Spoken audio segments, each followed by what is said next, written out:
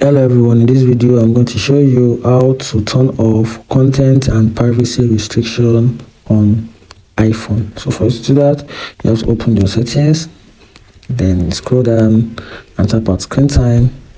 Once you do that then you scroll down a little then so click on content and privacy restriction. Then you're gonna come up here and make sure you toggle off this particular option which is content and privacy privacy restriction on iphone.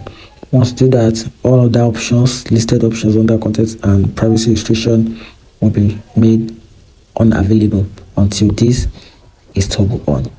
If you find this video helpful like and follow for more. Thank you